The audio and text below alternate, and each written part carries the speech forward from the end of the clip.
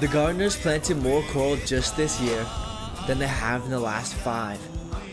And with goals of planting 1 million corals by 2025, this is just the beginning.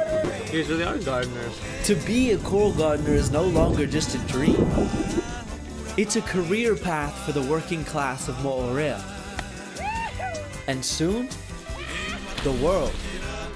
Les Coral Gardeners are going global, creating opportunities for people around the world to make a living by caring for the places they call home.